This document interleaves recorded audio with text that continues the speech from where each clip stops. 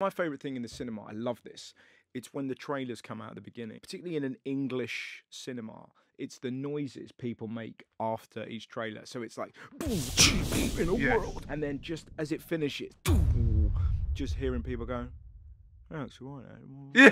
Yeah. Th- that little, th- it's that little mutter. Yes. And, and the best one is like, well, it's f***ing well, you know, fucking what's that?" I love that. That mutter.